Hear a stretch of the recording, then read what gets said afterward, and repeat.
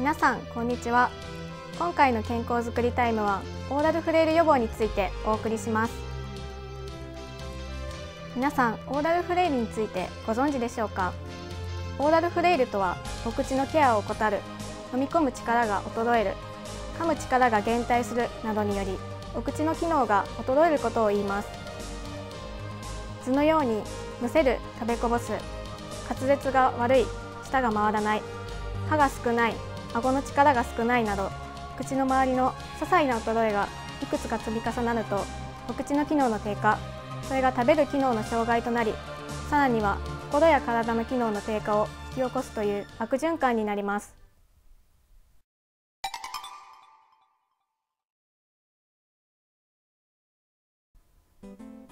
自分がどのくらいオーラルフレイルの状態に近づいているかは皆さんのお口の健康状態を確認することで判断することができます。このオーラルフレイルセルフチェック表の質問事項をよく読んで回答部分に「はい」か「いいえ」で答えて点数を合計してください。1半年前と比べて硬いものが食べにくくなった。2お茶や汁物でむせることがある。3義歯を使用している。4口の渇きが気になる。5半年前と比べて外出の頻度が少なくなった。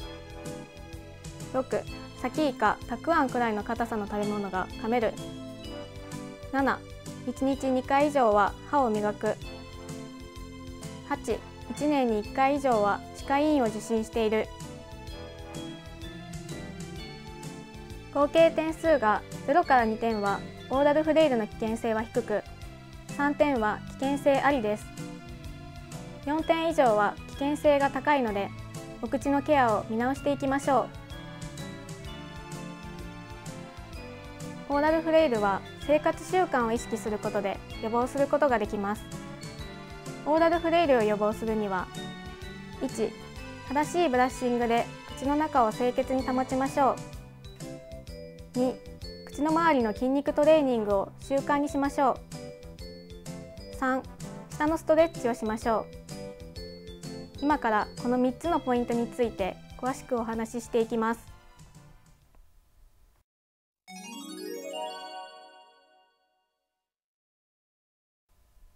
口の中を不潔にしていると歯周病で歯を失ったり誤嚥性肺炎や血管障害糖尿病心疾患など全身の病気の原因になることがあります。お口の中を清潔に保つために毎日の歯磨きのポイントをお話しします。1歯ブラシの毛先をきちんと当てて磨く。2軽い力で磨く。3小刻みに動かして磨く。入れ歯を外してしっかり磨きましょう。歯と歯の間にはデンタルフロスや糸ようじを使いましょう。就寝時は唾液の分泌が減り口の中の細菌が増殖するので就寝前の歯磨きは特に丁寧に行ってください。また毎日のセルフケアに加え定期的に歯科医院でプロのケアを受けてお口の健康を維持しましょう。治療だけでなく予防のためのアドバイスをしてもらえるかかりつけ歯科医ははつらつ人生に欠かせないパートナーです。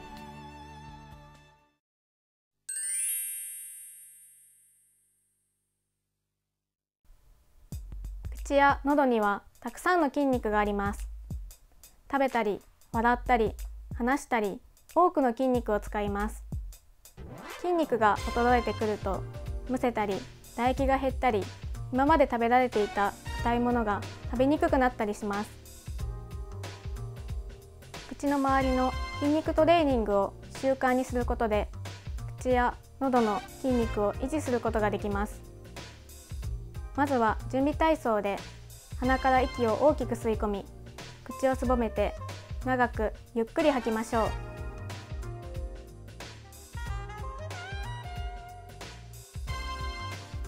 次に首を左右に傾けましょ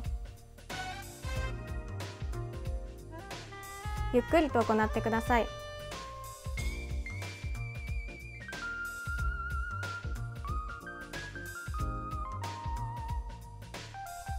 次は左右横を向き上下に動かしましょう。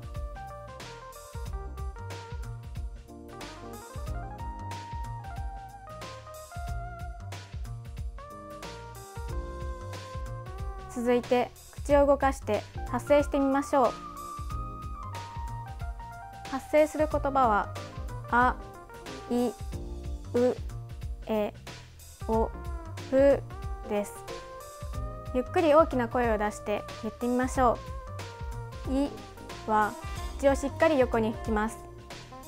うは唇を突き出しおは口を縦に開きます。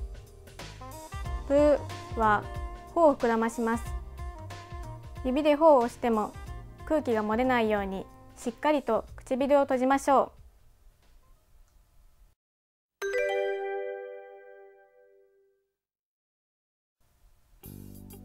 下の動きがスムーズになると食べ物を噛んだり飲み込んだりする動きが良くなります。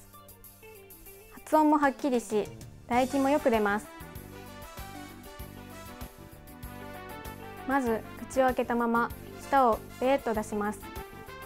次は口を大きく開けて舌を上顎につけます。口を開けたまま舌を左右に出し最後に舌先で唇を舐めます。ではお口をしっかり動かしてパンダの宝物と発声してみましょうパがファと聞こえないようにたがなと聞こえないようにかがはと聞こえないようにらがりゃやあと聞こえないように。はっきりと発音しましょう。